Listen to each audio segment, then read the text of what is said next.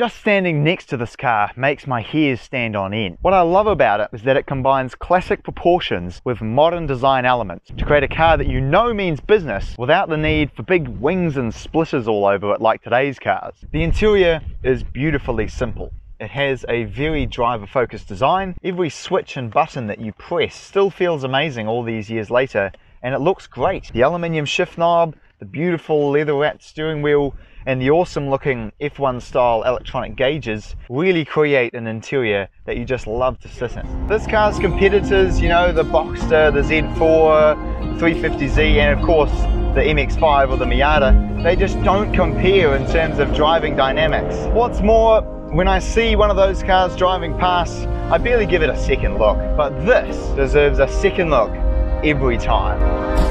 One last VTEC.